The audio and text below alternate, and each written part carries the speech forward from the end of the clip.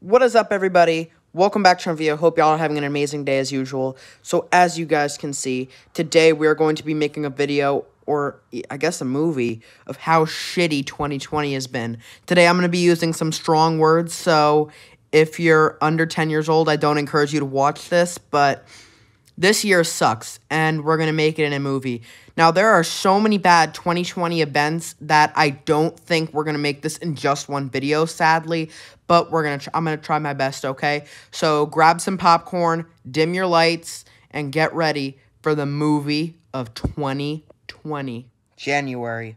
Okay, let's start off with the beginning of the year the Australia wildfires. The Australia wildfires were in 2019 but peaked in early 2020 in January. The impact on these wildfires were so bad that people had to evacuate. Hundreds of people died, and billions of animals sadly died as a result. The wildfires were the worst Australia has seen in history and just a terrible start to the new year but we're just getting started. Then, in just a couple days, an incident with Iran- Iranians and terrorists almost started World War III. One of the worst things that could ever happen. So we're already off to wildfires and World War III. How much shittier can the year get? And while all this was going on, President Trump had an uh, impeachment trial. Now, he got away with it, but this was still another very, very bad incident that happened in 2020. Then, on January 25th, one of our favorite basketball players, Kobe Bryant, died in a helicopter crash. This was one of the worst deaths in history for many basketball fans, including myself. The death was tragic. Kobe Bryant was a great basketball player and a very good person, and a very good person when it comes to motivation and his daughter, Gigi, also had dreams to become a great basketball player when she grew up, and it is incredibly devastating that she died as well. What makes this even worse is that nine other people died on that helicopter as well, making this event more than tragic. Rest in peace, Kobe Bryant, and the nine other people that died on that helicopter crash. February. February was a very scary month for the COVID-19 pandemic, which originally started in Wuhan, China, and spread it all over the world. Now, at the time in February, China was being shut down, and hospitals were overcrowded with patients infected with COVID-19.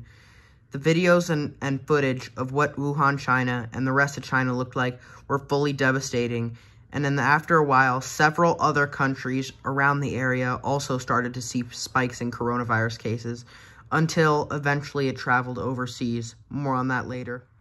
At the same time, an incident Brexit was happening. Now, UK Parliament voted on post-Brexit. However, this was still a very long and miserable period for the UK. I don't know if it's just me, but doesn't Boris Johnson look like a blonder, paler version of Donald Trump? Kind of acts like Trump, too. In less than 48 hours, we will leave the EU. His accent's a lot better than Trump's, though. I mean, he has a better voice. March. On March 13th, Breonna Taylor, a woman who died because of police brutality in Kentucky, was shot after a no-knock warning in the middle of the night. This was absolutely devastating and just an example of police brutality in this country.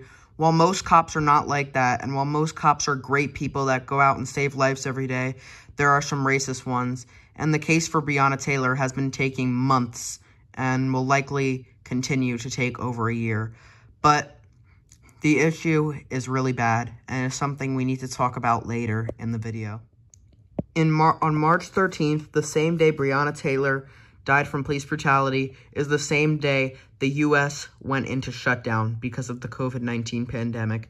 Many businesses considered non-essential were forced to close down for a short period of time to pre pre prevent further spread of the virus. Hospitals were being overcrowded, and no one had many information on the virus.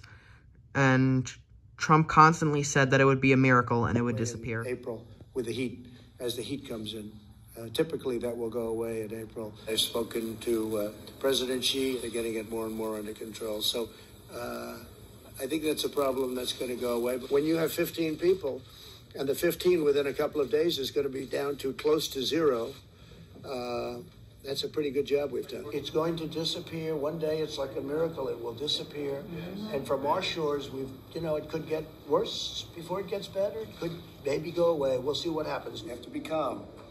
It'll go away. It will go away. Just stay calm. It will go away. We need a little separation until such time as this goes away. It's going to go away. It's going to go away. It will go away. You know it. You know it is going away and it will go away, and we're going to have a great victory. It's going to go away, hopefully at the end of the month, and if not, it hopefully will be soon after that. But has so it is going on this evolved? It is going away. I didn't say Dave, I said it's going away, and it is going away. You were saying things like, "I think it's a problem that's going to go away within Which a couple of days."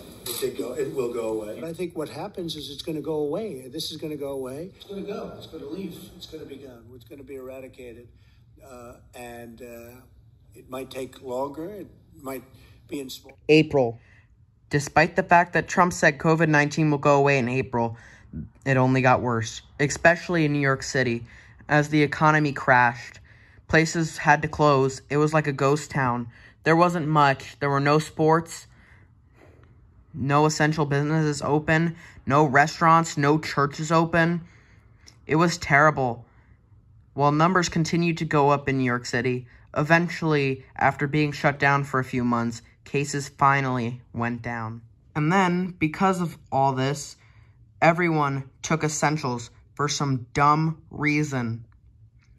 Grocery stores are essential. They're going to stay in business. No need to hoard toilet paper and make people's lives miserable.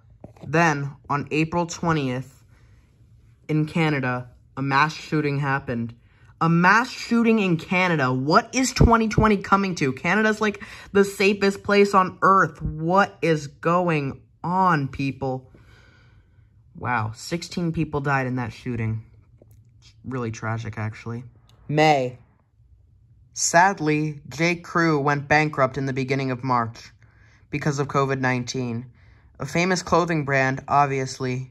Sadly, J. Crew went bankrupt. Also in early May, there was a rumor going around saying that Kim Jong-un died, and lots of people thought he did, but uh, in incredibly, he faked his death. That is terrible. Either he faked his death or he came back from the dead. Either or. Then, in early May, the murder hornets came. Well, they never actually came. They originally came from somewhere in Asia. Of course, in Asia. I mean, come on, and eventually made it over to the west coast. Now, only one hornet was found, and luckily it wasn't a big deal. So, I guess that's good that it never came, but still, this is a very, very deadly animal. At least the praying mantis can eat it. And then, on May 25th, George Floyd, another un unarmed black man, died because of police brutality. Officer Derek Chauvin kneeled on his neck for eight minutes, and he was even screaming, I couldn't breathe. Clearly, this was police brutality, and Derek Chauvin got arrested, and so did all the other officers, but this seriously was not enough. Now, we did get some good peaceful protests out of the Black Lives Matter protests, which is a very good thing, and lots of people protest in the name of George Floyd, Breonna Taylor, and any other African American that lost their life because of police brutality. Sadly, President Trump used police and allowed them to tear gas protesters, which is terrible. Sadly, later that night, a bunch of assholes in our major cities, a bunch of thugs and criminals, decided that it would be a good idea to burn down buildings, riot stores, and loot. These rioters are assholes, and there's no denying about that. Stealing and robbing stores Small businesses in major cities had to close because of these Antifa assholes. And this is so bad. Now, the riots can be controversial, but I don't care what anybody else says. These riots are terrible, and I don't care what anybody else says. This is almost as bad, if not worse, than what than the George Floyd shooting. This is just terrible. The fact that this happened all across this the U.S. and that several cops got shot and that people were getting pepper sprayed, tear gassed, and several people died. It was just awful to say the least. Okay, now this is disturbing. A bunch of libtards thought that it would be a good idea to burn the American flag during the riots. And they also burnt a Bible in Portland. This honestly breaks my heart. I can't, I can't look at this for another second. As a patriotic American, this hurts me. June. Sadly, in Africa, Ebola came back. Yes, the pandemic of Ebola that outbreaked in 2014 was back in Africa. Now, in mid-June, Trump held his first rally since the beginning of the pandemic in Tulsa, Oklahoma. Of course, he did it in Oklahoma. I mean, there are no Democrats in Oklahoma, that's why, with very little masks and very little social distancing. He said that social distancing did not matter and that masks were only mandatory. Wait, hold up. Is that a black Trump supporter right there? What the hell? Old woman, a young man, or an old man, and you're sleeping. So what are you going to do, right? So they wanted to fund. They really do. This is a serious movement. And in Minneapolis, And then in Argentina and Brazil, there were locust swarms eating all the crops and making things miserable for people. I mean, this is just crazy.